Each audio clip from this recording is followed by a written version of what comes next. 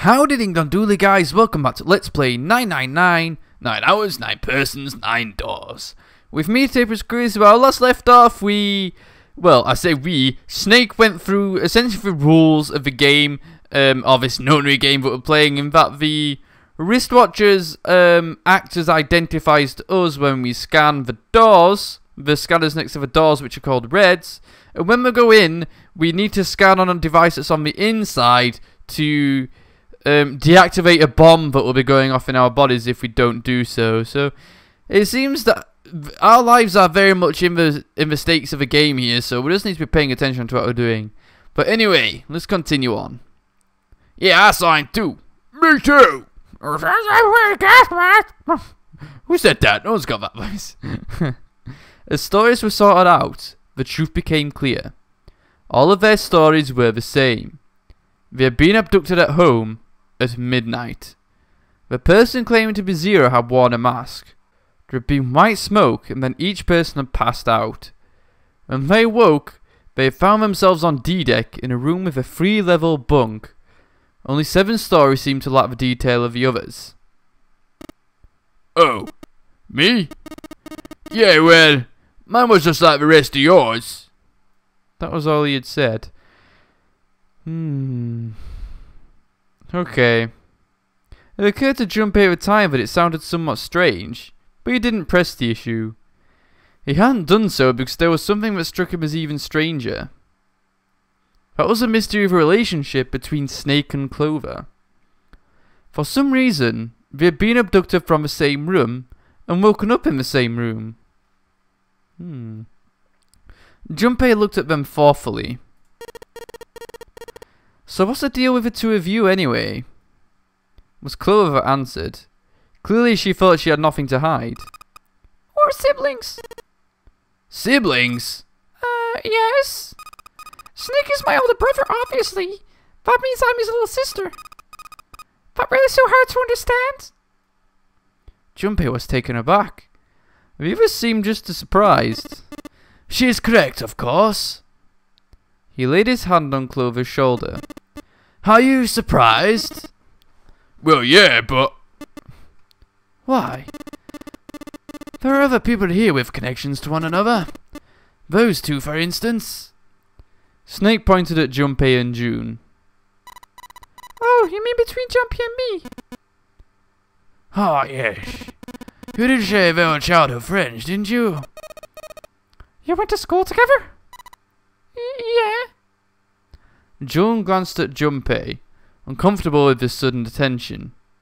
Junpei felt somewhat nervous as well, and tried to scratch his head as casually as possible. Hey, think maybe we can figure out what Zero is this way? Yeah, you're right.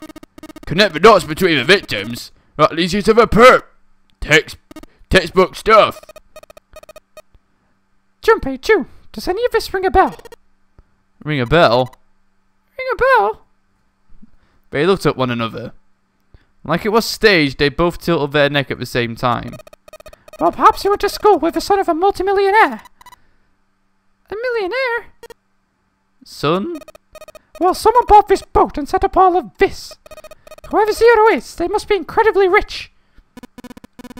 Well, we can't be sure of that. To me, this seems show us the work of an organization, not an individual. Zero is most like, likely simply the representative of a larger group. What sort of organization? Could be a number of things. An army, perhaps a research group. Perhaps it's all some sort of psychological experiment. If it is, it's a pretty fucked up experiment. I mean, come on, the guy's dead. Ugh. Friggin' I'm getting scared by transitions now. The word dead hung in the air, heavy and ominous. The room went quiet again. I know who the hell this Zero asshole is. No, for sure it's gotta be pretty. oh, the scrolling just doesn't mean it's gotta be pretty. Mm. Man, I bet you he's really hot. he's gotta be pretty fucked up in the head to all this. There's all one guy, and he's got some serious issues. Even with the spectre of death hanging over them, their discussions continued for some time. In the end, however, they learned nothing. We're wasting time, Jesus Christ. By the time they finished, 1.5 of their 9 hours were gone. All they had to show for it was impatience. Man, look, we only got 7.5 hours left, okay? You really sure you want to just sit around? No one was willing to argue this time. Very well then. There's only one way for us to proceed. Shouldn't gonna be fun running around knowing we gotta jump when zero sa- says jump. What it's stupid to just sit around here doing nothing. Thanks to Snake's card, at least we have some idea of how this all works. Correct. So long as we follow the rules, we should, uh, we'll most likely be alright. But But what? who's gonna go in which door? June looked towards numbered doors. Yeah. Oh yeah, that's right. We can't have any more than five people in one door. All eight of us can't go into the same door. Then would seem we will have to split up. Wait! Lotus looked terrified. I'm telling you now, there's no way in hell that I'm going into door 5. Come now, don't be selfish. Come whatever the hell you want. I'm not going in there. I'm gonna have to walk through all that blood, then I'd rather stay here. we were doing so well. Ace shook his head sadly. Sorry, but I ain't going in there either. Someone else can go into door five. Oh, Santa, not you too. Hey man, I just bought these shoes. Think I'm getting some creepy dude's blood over him. You got another, you got another thing coming. That was our last straw. What the hell, man? Were you the one who kept saying we should get going? Yeah. So, this mean I want to go in door five. Oh, God. By the 90 that. There was an awkward silence. Finally, Seven spoke. Fine. Fine. I went to door five. Can't go in there alone though. No one else wants to come with me. There was another long silence. This time, Snake was the one to break it. How'd it go? Don't worry, you'll be fine. We part now, but I'm certain we'll meet again later. How do you know that? Because I do. Well, that's not an answer. If you're going, I'm going too. I'm going into door 5. What am I going to do with you? There's nothing you have to do. Ace step forward. If I join you, the problem is solved, correct? Seven is seven and Snake is two. If you over is four and my one, the digital root will be five. 7 plus 2 plus 4 plus 1 equals 14. 1 plus 4 equals 5. Oh, it works perfectly. The four of us can go into door 5. Wait. What about the other four? What's their digital root gonna be? Junpei did a quick mental calculation, which is something that I can't do. Lotus, Santa, Jun, and Junpei remained. Their bracelet numbers were 8, 3, 6, and 5. Their digital root be. Uh, 8, 9, 10, 11. 11, 1, 2, 3, 4, 5, 6, 17. 2, 3, 4, 5. 22, 2 plus 2 equals 4, right? 2 plus 2 equals 4. Oh, it's perfect! He repeated what he determined. It's 4. Add up our 4 bracelet numbers and the digital root is 4. Then we can't go into door 4. Yeah. Huh, that worked out well. Junpei ran over the team assignments in his head one more time. Four people go into door 5. Seven, Snake, Clover, and Ace. Four people go into door 4. Lotus, Santa, June, and Junpei. Junpei had to ask himself if the teams were what he really wanted. Beyond door 5 was what remained of the ninth man. He never wanted to see that thing again, but something in him said it would be unwise not to examine the corpse even a little closer. Of course, if he went through door 5, he wouldn't be going with Lotus and Santa. True, it would be possible for him to bring June with him through door 5, but that would mean she would have to see the horrific carnage that waited there. Junpei didn't want that. Junpei was torn. Should he stay silent and go through door 4? Or should he stop them all and insist on door 5? As he turned his options over and over again in his mind, Ace spoke up. Alright then. Seems we've reached a conclusion. Shall we go? He began to walk to door 5. Clover and Snake followed with 7 a short distance behind. Junpei. Which door do you want to go through? I don't think it's worth creating disharmony within the team for now. So we'll just stick with door 4, I believe. Decided that door 4 would be fine. You'll go through door 4 with Lotus, Santa and June. Why did Junpei even consider doing otherwise? Who'll be there for June? For Akane Kurashiki? That seemed good. Uh, I don't know. I mean, I, I, it's just like, why is he? Why is he so obsessed with Akane? I mean, I know she's obviously, I know she's obviously so a waifu, but like, I mean, there's just bigger fish to fry, you know. I guess June is probably adolescent. I mean, he's in his early college years, I guess. And there's a pretty girl around, so I don't know. I, I just think it's a bit superfluous. He felt it was the right choice to make. He made no shows of affection, but Junpei saw her as something more than just a friend from his childhood. He watched the other four walk towards their door. Ace, Snake, Clover, and Seven. Junpei said nothing as they left. Before long, they had reached door 5. They talked to one another for a few seconds, saying things Junpei couldn't hear, and then laid their hands one by one on the scanner panel of the red.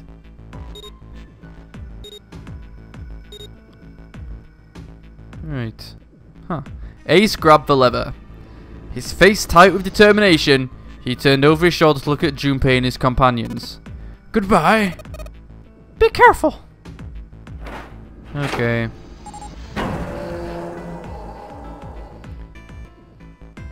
As Ace pulled the lever, the door swung open. The mouth of a great, hungry beast. Beyond the door, Junpei knew, lay the sad remains of the ninth man. It not, did not surprise him that Ace, Clover, and Seven hesitated. The body was not a pleasant thing. Ugh. Snake had no such problems, as his blindness made him immune to the horror. He stepped through the door, his feet making a wet splack in the pool of blood. Do you intend to kill me? Seem you haven't forgotten the door only remains open for nine seconds, have you? Snake could not even bother to turn around, but the other three steeled themselves and stepped through the door. Right. Door 5 swung shut, closing with the heavy finality of metal upon metal. Junpei and his companions scrambled to the door. They pressed their ears to it in an attempt to hear what might be taking place on the other side. It's beeping. It's just like before. Probably the sound of a detonator on the bracelet. Do you think they're okay? June's face showed her concern more plainly than her words ever could. Almost as though in response to a question, a voice rang out from the other side of the door. It was Seven. Hey, there it is! That's gotta be that dead thing. Come on, get over here. We've got to authenticate.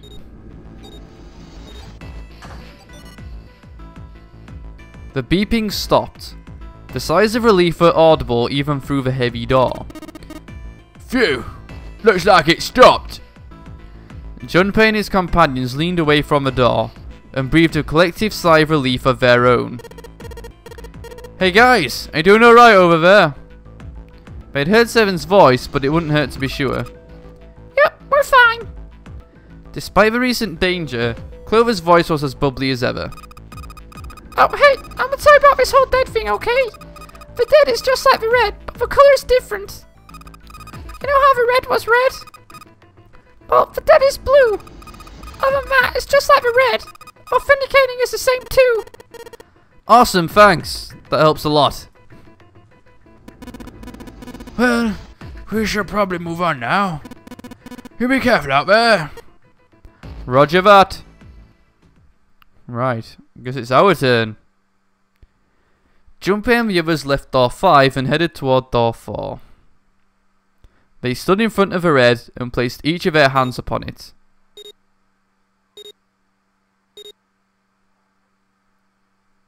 Four asterisks appeared on the screen. Junpei grabbed the lever and turned around.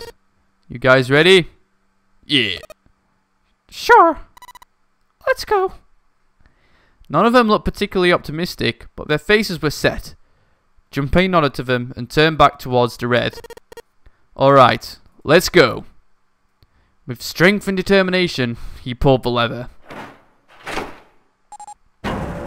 Oh. Right. Okay, the four of them leapt through the door together. The moment they had passed through it, each heard a cold electronic sound coming from their left wrist. In the center of each bracelet, a red skull appeared and began to flash. The detonator's countdown had begun. In the long moment that each of them spent staring at their wrists, the numbered door behind them closed, the sound of metal on metal reverberating down the hallway. There was no way back now. They were committed.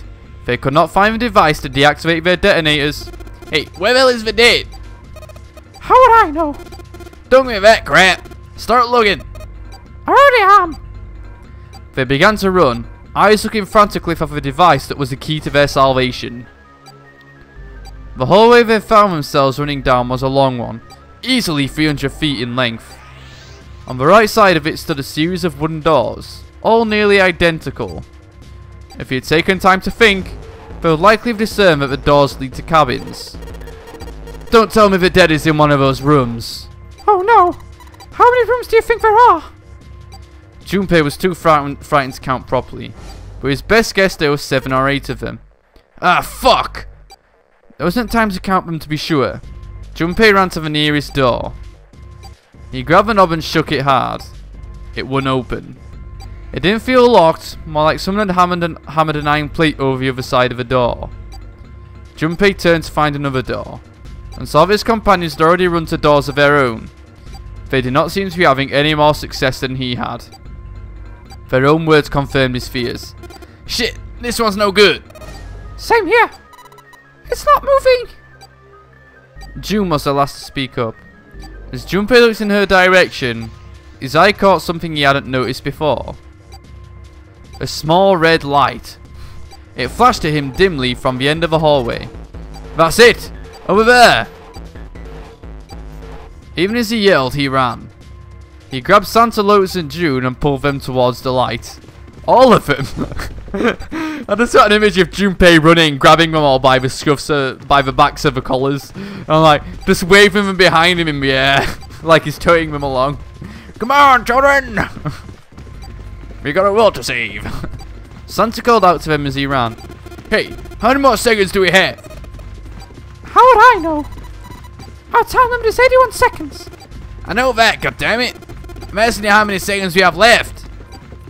In all likelihood, Junpei figured nearly a minute had already passed since the closed behind, behind them. If that was true, no time at all. Urgency foremost in all of their minds, they arrived at the end of a hallway. The dead sat on the left wall blinking almost tauntingly at them. Hurry! Junpei grabbed hold of the machine, his hands slick with sweat and shaking. He slammed his hand against the scanner panel. The other three quickly followed suit. Pull the lever, Grunk! With a grunt, Santa yanked the lever downward.